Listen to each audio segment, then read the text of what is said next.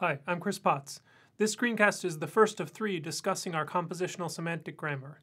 This screencast covers some technical preliminaries relating to functions, notation for them, how they work, and how we use them to model linguistic meaning.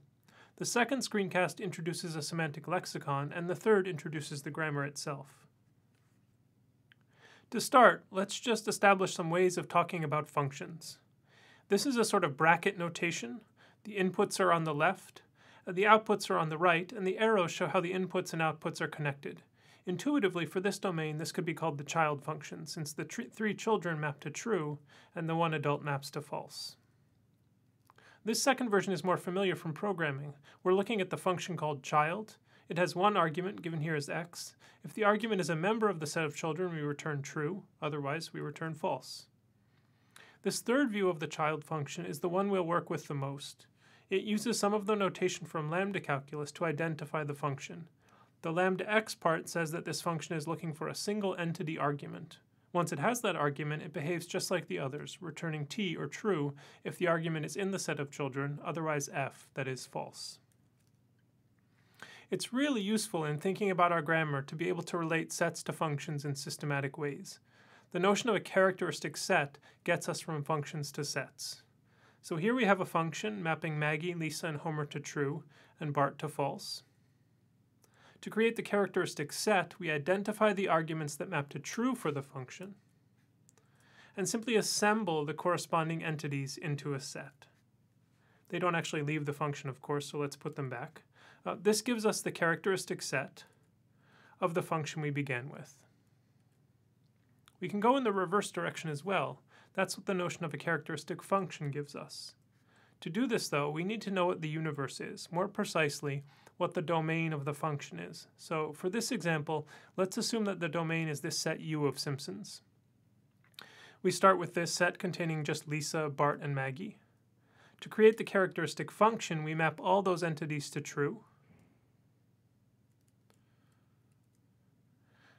And here's where we need to know the domain of the function. For all the entities in the domain that aren't in the original set, here just Homer, we need to map them to false to complete the function.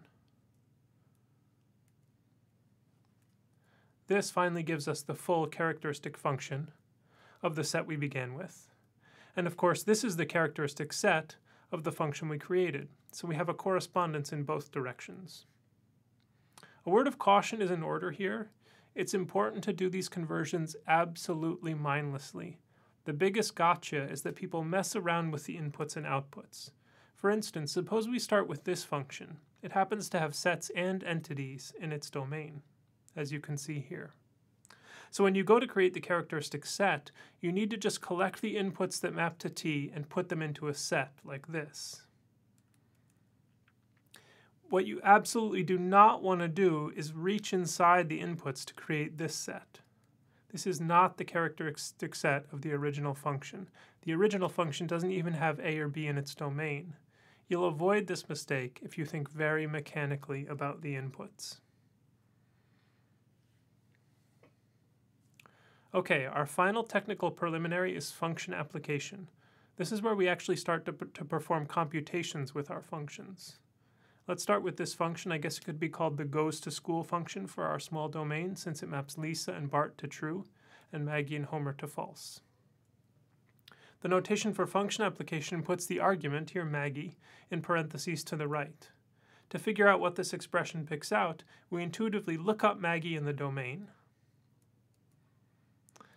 find that she maps to the false value, and that tells us what the final meaning of the expression is. Or, from another perspective, we applied the function to the argument Maggie to obtain the value f, or false. Using the programming style notation, here's the child function we saw before, and if we apply the function to Homer, we get something that evaluates to the expression f. The concepts are the same when we use lambda expressions. Here's the child function given as a lambda expression, now with Lisa as the argument in blue parentheses at the right. To calculate the value, we get rid of the outer lambda x, since we are filling that argument slot. I like to imagine the argument Lisa crashing through and destroying it. And then we substitute Lisa wherever there was an x uh, variable in the body of the expression. Now we're essentially just evaluating this assertion of set membership. Since Lisa is in the set, we get the value t in the end. Here's a summary of the entire computation we just discussed. With these concepts established, we're now well positioned to define our semantic lexicon and build an effective semantic grammar.